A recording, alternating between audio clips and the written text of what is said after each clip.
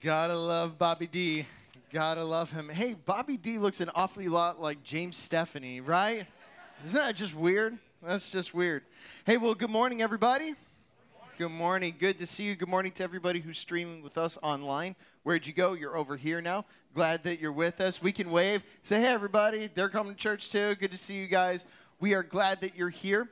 Well, uh, tell you, I'm glad to be back with everybody. I had a, a weekend off last weekend. I heard Pastor Dale preach the house down last week. I hear he did a great job. You should agree with that, yes? Okay, good. Just checking. Oh, boy.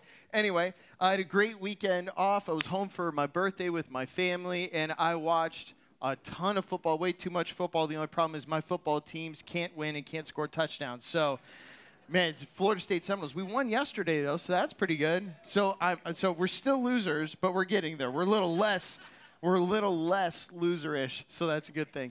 Hey, so uh, I'm really excited to be here with everybody today because we are starting a brand new sermon series on relationships, but we're calling it Relation Slips. Everyone say that with me.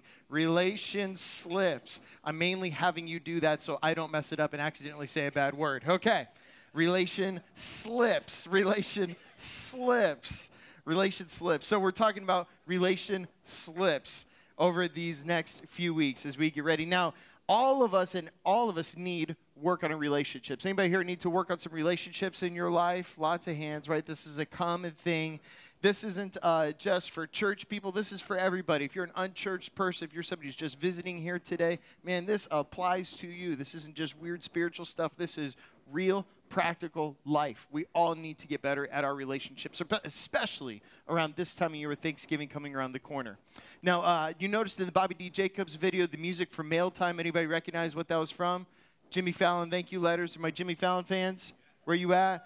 Yeah, very good. I think Jimmy Fallon is the real successor to Johnny Carson, not Jay Leno, in my opinion. But this is what Johnny Carson has to say about Thanksgiving. He says this Thanksgiving is an emotional holiday. People travel thousands of miles to be with people they only see once a year and then discover once a year is way too often.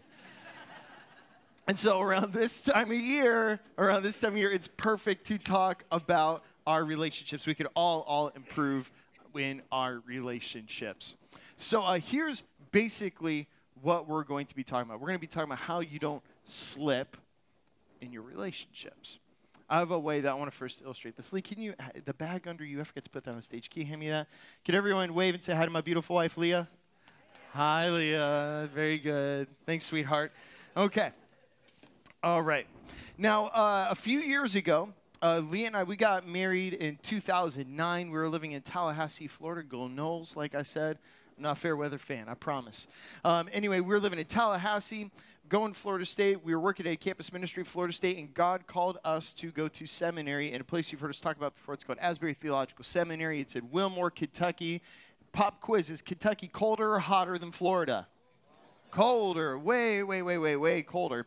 Now we knew that we had to prepare to go to Kentucky. But we're Floridians. We don't know anything about cold weather. So here's some important things that I've learned about cold weather. Anybody here ever lived in cold weather before? All right, where's my native Floridians? Yeah, oh, lots of native Floridians. Y'all need to take notes if you travel, okay? Brandon's moving to Kentucky in January after he marries that girl, Haley Log, right there. So that's going to be good. All right, so Brand Brand. You got to pay attention. You got to take notes. This is really, really important. You locked in. Okay. So here's some important things you need if you're going to go live in the cold. First off, you need a good jacket. Duh, right? Now, but here's some other things you Floridians might not know. Now, I was born in Seattle. I lived in Colorado, and then I grew up in Florida. So I had a little bit of smarts about cold stuff. Not a lot, just a little bit. So everybody knows you need a jacket, but you need some other stuff too, right? You need a good pair of gloves. Okay, no problem. Here's what else you need if it gets really, really cold. You need a good hat. Did you know most of your heat escapes your body from your head? There you go. It was worth just coming to church just for that. You need a good you need a good scarf. Most people are like, I don't need scarves. You need a scarf when it's cold. Trust me. You need a scarf. But you know what? The most important thing you need when it's cold? Most important thing, hands down. What do you need? You need shoes, right? You need good shoes, a good pair of boots. You really, really do. Now, I'm going to show you the boots that Leah and I bought when we first went to Kentucky, okay? Now, ladies, here is Leah's cute boots. What do you think? What do you think, huh? Not bad? Aren't they super cute, right? Oh my gosh. They're awesome. All right, so not bad. They're pretty cold. So these are my wife's boots that she got when we moved to Kentucky. Now I'm going to show you my boots. And they're gross. I'm glad no one else is on the front row because you might pass out from the smell. So here we go. That was funnier than that. Okay. Anyway, so here are my boots. Good man boots. Ooh, yeah, there we go. Okay. Lee, can you take this bag, sweetie? Can you take that? Thank you very much. Thank you, thank you. All right, so here are my good man boots. Somebody told us we had to buy them. Man, am I so glad I bought those boots. Can't really, if you're online, you can't see the bottom of the stage. Here are the boots if you're online. There you go. You can see them there. Now, uh, I'm really grateful we bought this stuff because the year that we moved up to Kentucky happened to be one of the coldest and craziest winters they had in a really long time. Like, not only did it snow a lot at first, they had this horrible thing from the pit of hell in Kentucky called freezing rain. Is it rain? No. Is it snow? No. It's just ice. It's awful. So it already snowed several inches, and then it had freezing rain, so everything was covered in a layer of ice. It was actually beautiful to look at. I have some pictures for you guys I took with my old phone. Here, go. Let's throw up some of those pictures. So you see the icicles hanging down from a sign of the campus. Now, if I zoomed in on a lot of other stuff, so go to the next one here. And so what you see on all those branches isn't snow, it's a fine layer of ice encapsulating every single part of every branch of every tree. Isn't that amazing? Here goes another. Here's another zoomed in one. Look at that. Perfectly, even around a leaf, perfectly frozen around a layer of ice. Here's another one. Look at this. This is my favorite one. Very, very, very pretty. Now I'm going to show you a picture of my boots. Go to this one here. Look at that. That's not my feet through snow. That's my feet breaking through ice into snow. Do you think it's slippery there when everything's covered in ice? Dangerous, right? Dangerous. So here we are. We're from Florida. We had been living there three months, maybe at the most. We're trying to figure all this stuff out. Little did we know that not all boots are created equal. For instance, my wife in the morning, she worked on campus. We lived on campus, so she would walk to work every day. I mean, it was just beautiful and gorgeous, especially in the fall. But when an ice storm hits, it gets a little perilous. These boots right here have zero tread on the bottom. So these were boots, but they also happened to double as ice skates when she was there. We, now, we learned if she was going to wear these shoes, I had to, in my boots, thank God my boots had some good traction, I had to glide her across the campus on the ice all the way to her office. If anybody was looking from the outside in on this, they'll first like, look at that. They're so cute. These newlyweds, he's walking her to work. And the other half of the people go, look, a bunch of stupid Floridians not knowing the right type of boots to buy. Right? So here's the point of it all. If you don't have the right foundation, if you don't have the right footing, you're going to slip. This is true for your relationships as well. If you don't have the right footing, if you don't have the right foundation, you're going to make a bunch of slips. And we're trying to avoid those here today. So if you have your Bibles, go ahead and open them now. If you haven't pulled out your sermon notes, go ahead and do that. We're in the Gospel of Luke. So it's in the New Testament, it's the third book of the New Testament. As you're turning there, it's going to be on your notes, it's going to be on the screen. You can open up whatever app you read the Bible in if you do it on your phone. Luke is um, we studied the Gospel of Luke a little bit earlier in the year, uh, particularly following in the series we did on the book of Acts called Chapter 2. Luke also wrote that. This is his first volume. Luke was a doctor who pretty much did a research uh, project on the life of Jesus. And so this is a thoroughly researched ancient biography of the life of Jesus Christ. And we're here in Luke chapter 2, verse 52. This is a very obscure verse in the scriptures where you might not be familiar with it and it's easy to pass on by, but we're just going to read it here. So, Luke chapter 2, verse 52. Now, this is following, this is, uh, well, we'll get into background here in a minute. 52, here we go. And Jesus grew in wisdom and stature and in favor with God and man. Jesus grew in wisdom and stature and favor with God and man. Let's pray. Loving Father, we thank you for your presence this morning. God, I thank you that you're not the God we have to beg to be here, to be with us as we stream online. You are already here. We're not waiting for you, you are waiting for us. So speak to hearts, change lives. Come help us. Help us to know you and walk in your ways by the power of the Holy Spirit. We pray this in Jesus' name. And everybody said, Amen. Amen. So let's talk about this. This passage, uh, that chapter, verse 52 is the culmination of, is the only passage really that we have from the scriptures of Jesus as an adolescent. As Jesus, as like a sixth grader, most people think he was about 12 or 13 years old. This happens at the very end of a story where Mary and Joseph accidentally leave Jesus in Jerusalem. Remember the movie Home Alone? Remember? Okay, instead of Macaulay Culkin, it's Jesus that they leave bad news. So Jesus gets left in Jerusalem. It's an interesting story, but the most interesting part of it for Pastor Dale and I right now is these verses right here that Jesus grew in wisdom, stature, and favor with God and with men. Now, we have a couple powerful observations about this that's going to set up the rest of the talk for this morning. It's going to set up the rest of the sermon series that we're going to be talking about. Here's the first one. If you're taking notes, you can underline these words. Jesus grew in favor, it says, with God and man. You can see it there in yellow. With God and man, by man meaning that humanity, not just males. Jesus grew in favor with God and with people. Now, this is a constant, constant theme of Jesus' life and his teachings. The, uh, it's this idea of a relationship with God and a relationship with people. We talked about in the last sermon series that we just finished in a conflict that Jesus had with the Pharisees. Somebody challenged him and said, Jesus, of all the commandments in this book, what's the most important?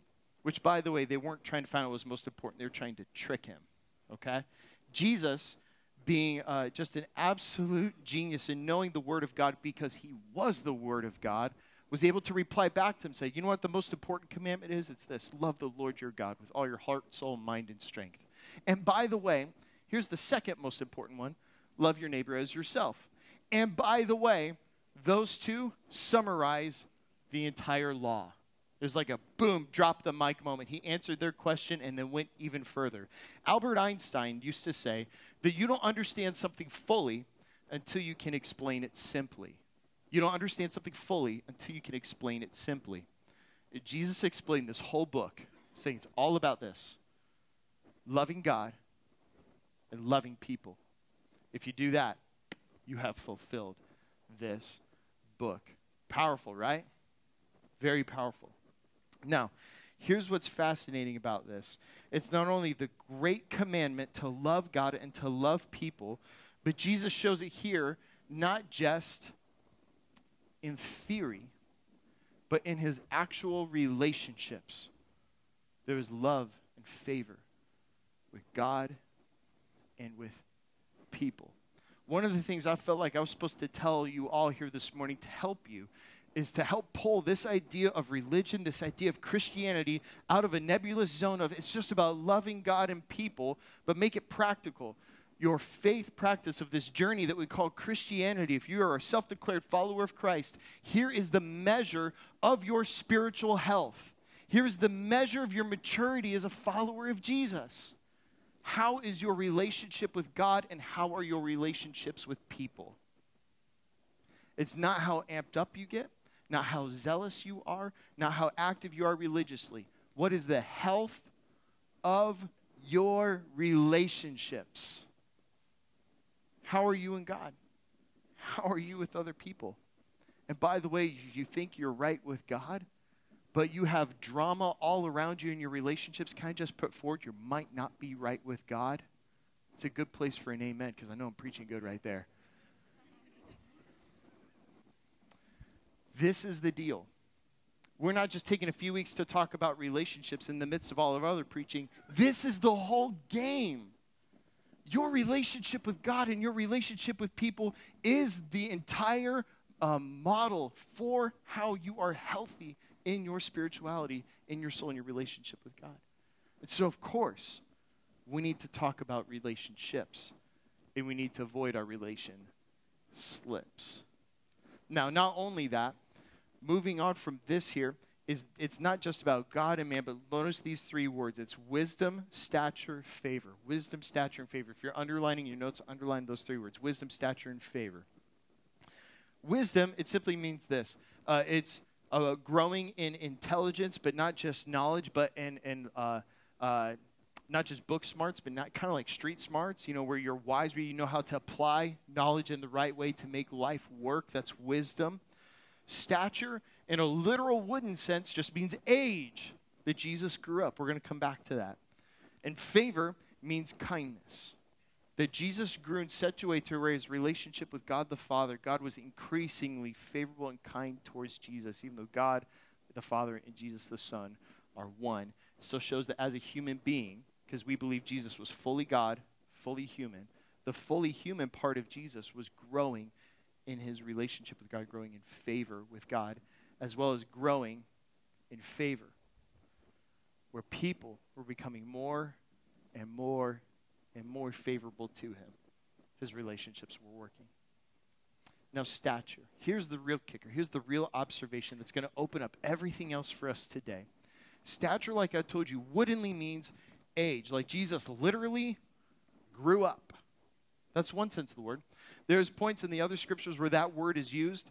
Uh, for instance, when Jesus heals somebody in the temple, and they go to talk to this person's parents and say, How did this Jesus of Nazareth heal this person? And they say, Well, ask him. He is of age.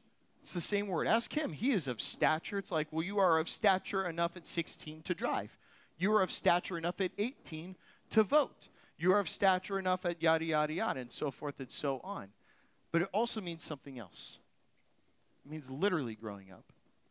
But that word is also used to talk about maturity, about growing up in relationships. And here's what I observe all of us, as long as everything biologically is in check and in order with us, if we eat the right diet, and take care of our lives, we will all grow up from children to adults. But not all of us grow up in our relationships. Not all of us grow up in our emotions. Not all of us grow up in our emotional intelligence and how we relate to other people. If Jesus can, shows us that we can. That's what we're talking about today. So the title of today's message is this How to Grow Up. How to Grow Up. That's what we're talking about today. How to grow up. Now, we all want to grow in wisdom, stature, and favor with God and man. So, Pastor Dale and I, we have four truths that we need to understand about all relationships. All relationships, whether you're um, a parent or a child, a spouse, a friend, an employee, a coworker, you name it, a neighbor, in all of our relationships are four truths we need to understand if we're going to apply them and grow in all of our relationships. And so here's the first one if you're taking notes, write this down. Truth number one, it's this. We have been created to live in relationship with one another. We have been created to live in relationship with one another. Genesis 1:26 says this. Then God said, "Let us make mankind in our image, in our likeness." Isn't that interesting? The ours in there, us and our. It's plural every single time it's pointing to the Christian doctrine of the Trinity, where we believe in one God with three co equal, co eternal distinctions within that Godhead. Is showing us that even amongst God, and we talked about this earlier in the year, that God is a relationship in amongst themselves the Father, the Son, and the Holy Spirit. If we're made in God's likeness, it means that we're made for relationships in and of ourselves. Notice this here Jesus going on teaching in John 17, 20 through 21. He says this My prayer is not for them alone. I pray also for those who will believe in me through their message, that all of them may be one, Father, just as you are in me and I am in you. May they also be in us, so that the world may believe that you have sent me. One of the things Jesus is saying here, especially in this room, everybody look at each other. Turn around, just look around at each other Yeah. the world's not going to believe the message of Jesus until we start getting relationships right in this room. Amen? Amen. We're made for relationship. We're wired for relationships. Now, in each one of the four truths that I'm going to give you across the rest of this morning, there's a correlating slip that goes with each one of these truths. So there's a truth foundation and a footing that you need to have, and a slip you need to beware. Here's the slip for this truth it's when we fail to make relationships a priority when we fail to make relationships a priority. There it is. As we fail to make relationships a priority. Uh, the great Yogi Berra said this If you don't go to somebody's funeral, they won't go to yours. Just let it, just, you know, it'll, it'll get there. Some of you are going to get it at lunch. It's okay.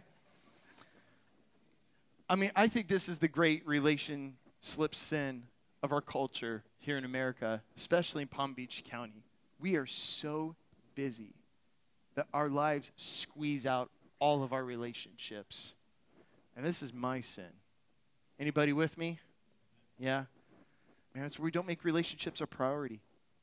You know, I've only been a pastor for three and a half years in this context. And by the way, I'm the envy of all my friends because I get to be one of the pastors of Community of Hope. So love you guys. Love you guys. I really am. Now, in just my time as being a young pastor, let me tell you, I've had the privilege of being with people as they're getting ready to cross over to eternity and at their deathbed. I know some of you here in this room, I've been there with you. No one on their deathbed says, Bring me my diplomas. Bring me my accomplishments. Bring me my strategic plans that we're able to execute and fulfill. No one does that. You know what they want on their deathbed? They want the people they love. No one says at their deathbed, I wish I worked more. No one does. It's all relationships. And something about knowing that life is not, uh, or that life is temporary. We have eternal life in Christ, but life on this age, it's temporary. There's something clarifying about that. Say that what's most important to God and what God wants to be most important to me is my relationships. And we slip when we don't do this, we don't make them a priority.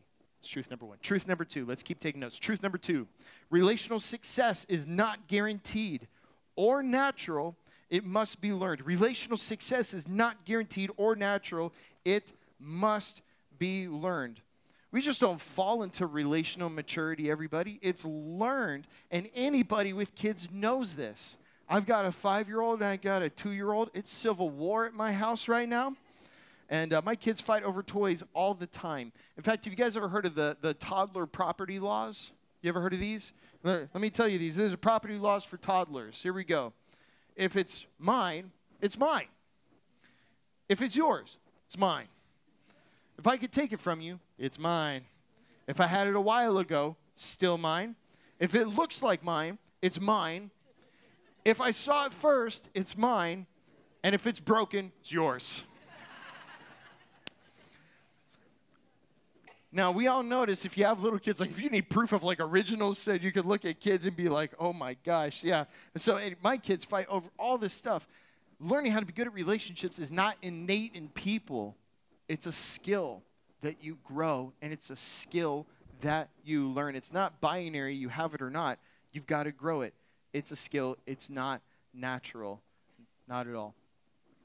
Now, here's the correlating slip that goes with this as well. Here's the slip if we don't become a student within the relationships we have, or the slip is we don't become a student within the relationships that we have. We don't become a student. We think it's either going to be this way or not. We don't put on our learner's head saying, I'm committed to learning how to do this relationship better. Listen to this from Colossians 3 12 through 14. Therefore, as God's chosen people, holy and dearly loved, clothe yourselves with compassion, kindness, humility, gentleness, and patience. And listen to this, verse 13 bear with each other and forgive one another if any of you have grievance against someone. With bearing with each other means like this you've got to learn to be with each other. You've got to learn how to do this. Forgive as the Lord forgave you. And over all these virtues, put on love, which binds them all together in perfect unity. Friends, as your pastor, I want to help you this morning. Listen to me. Autopilot doesn't work in your relationships, in your marriages, in your relationships with your kids, with your friends, with other family members that you have, autopilot doesn't work and is a guaranteed way to ensure a slip down the road. Are you committed to being a learner in the current relationships that you have and to get better at them? Truth two. Here's truth number three every relationship can improve, but this is not necessarily easy or quick nor will it meet all of my expectations. Again, number three, every relationship can improve, but this is not necessarily easy or quick, nor will it meet all of my expectations. Hear me. All relationships can get better. Pastor Dan and I definitely felt something in our hearts as we're preparing this message that there are people who came in here in this room where you have an issue with another person. Some of you have come in here where your home is unhealthy, or you came in here from unhealthy homes. And some of you came in here with broken marriages and you're not sure how this is going to work. You came in here with relationships that feel like they're dead. Hear me. Jesus brings dead things back to life again. Amen. Jesus gives wisdom when we don't know what to do. Jesus heals things that are broken. With God, all things are possible. You walked into this place in need of hope, and Jesus has come here to give it to you that your relationships can get better and God can resurrect dead things, heal broken things, and help you figure out what you don't know what to do and where you're stuck in all of your relationships. It's true. And, and, it's not easy. And it's not quick. It's difficult as a pastor, I'm floored by how many people tried to talk to me. They schedule coffee with me. I drink so much coffee, I should have stock in Starbucks. And they come to me with a marriage that got broken over a decade. And in one coffee, they expect me to fix it. I'm like, I'm a jabroni. I've only been doing this three years. You serious? but in all seriousness, it's like, well, I can help you start the journey, but this took a long way to get here, and it's going to take a little bit to get on the other side of it. Jesus' power will do it, but it's not a microwave.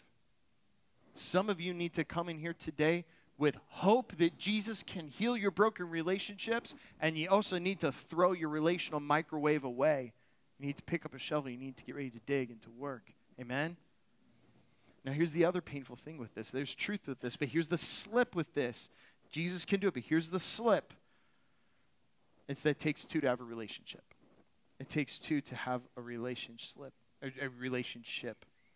Uh, sometimes these relationships won't meet my expectations. It takes two to have a friendship. It takes two to have a relationship. One of the best ministries in our church happens on Monday night at Celebrate Recovery. And uh, as somebody who's uh, struggling and, and you know coping with, and God's healing me of my codependency, I really appreciate the ministry that happens on Monday night. And they close every single Celebrate Recovery with this prayer. Listen to this. This is the serenity prayer. God, grant me the serenity to accept the things I cannot change, as in people, and the courage to change the things that I can, as in me, and the wisdom to know the difference. Living one day at a time, enjoying one moment at a time, accepting hardship as a pathway to peace, taking as Jesus did the sinful world as it is, not as I would have it trusting that you will make all things right if I surrender to your will. And here it is, so that I may be reasonably happy in this life. Reasonably happy in this life. And supremely happy with you forever in the next. Man, this th- that right there is one of the hardest lessons to learn in relationships. You can't make other people do their side of the street. You can do yours. Jesus' power is with you, and God does miracles. I've seen it over and over again. But it takes two, and you can't control somebody else. It's painful truth, but it's reality. All right, so here's the three truths that we have. Let's just recap these real quick. One, we've been created to live in relationship with one another. Two, relational success is not guaranteed or natural, it must be learned. Number three, every relationship can improve, but is not necessarily, necessarily easy or quick, nor will it meet all of my expectations. And here's the final one a personal relationship with Jesus provides the best opportunity for all of your relationship success. Let's go ahead and throw up Luke 2:52 again on the screen. Jesus grew in wisdom, stature, and favor with God and with man, with people. I want to tell you as a preacher, especially, let me speak first off to those in the room who are the not yet convinced, who are checking out Jesus Christianity. And there's maybe some people here in this room or streaming online where you used to be a follower of Jesus and you got burnt and hurt by relationships, and so you walked away. But you're checking them out again today. If that's you in this room, and I think there are people here in this room like that, I want to say this to you. Jesus is a wonderful example of how to get your relationships right. And even before people choose to become a follower of Jesus, they can start trying his teachings and his ways. because I'm telling you, they work. They work. I'm convinced to the very fiber of my being that everyone's life would be better if they were a follower of Jesus. Everyone. Not easier. Notice that? But better. And so, if you have some broken relationships here in this room today, maybe you gave Jesus a shot and gave him a turn to practice his ways and learn from him and to help your relationships. Now, Jesus, he grew up in every capacity. And it's not uncommon for us to say to someone who is just relationally unintelligent, like somebody just says something stupid, like, oh, just grow up. Anybody ever said that to people before? Anybody have it said to you before? Yeah. I saw some hands sheepishly go up right there. Well, here's the thing Jesus grew up, and he's here to help us grow up. And so here's the slip with this truth here. Here's the slip. Most of us need to grow up. Most of us need to grow up. I don't know about you, I need help with some relationships.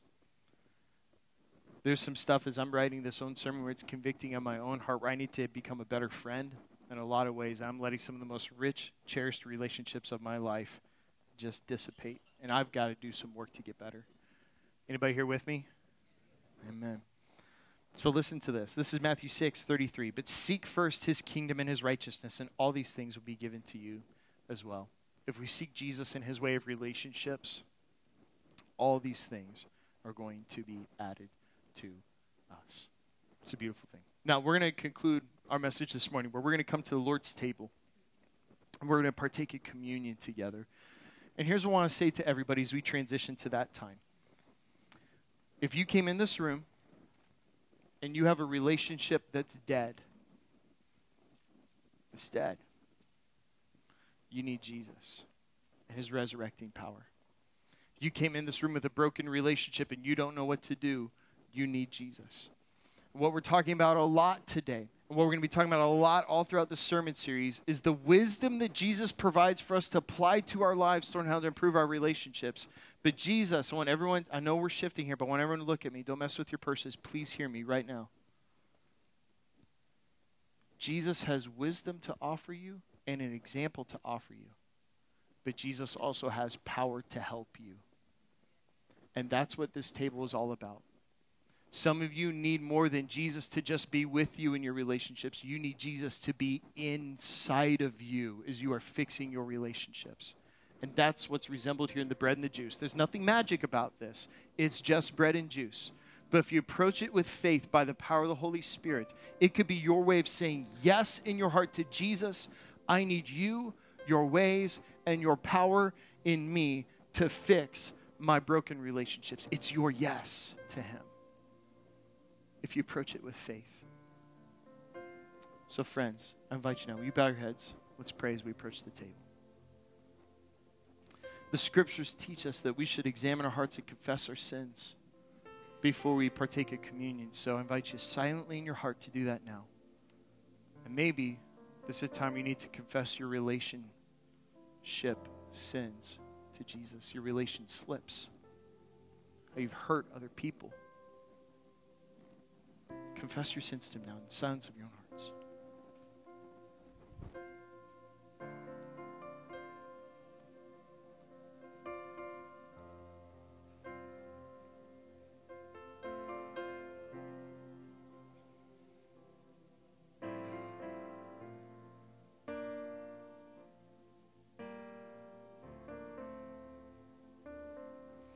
The scriptures teach us that while we are still sinners, Christ died for us. And it proves that God loves us. So, therefore, in the name of Jesus Christ, you and I, we are forgiven. Amen. Amen.